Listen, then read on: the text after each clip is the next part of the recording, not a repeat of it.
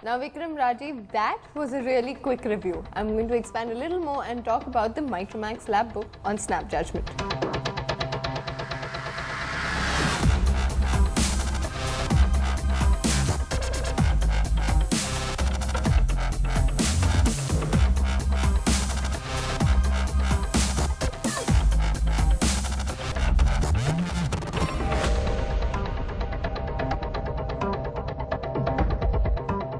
It's thin, it's light, and it doesn't feel plasticky.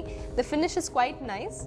You need to open it with both your hands, little cumbersome right here. It has Windows 10, which is amazing because most of the competition doesn't have that. It comes with an inbuilt memory of 32 GB. You can expand it to 64 if you like.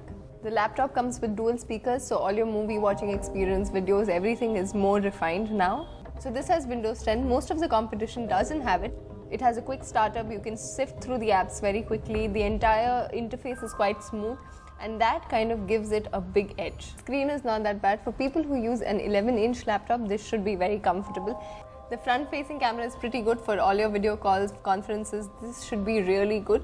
So if you're looking for something that's in your budget, this might be one to consider. Micromax this time has also worked on its after sales services, which is why this is a new and improved version of Micromax.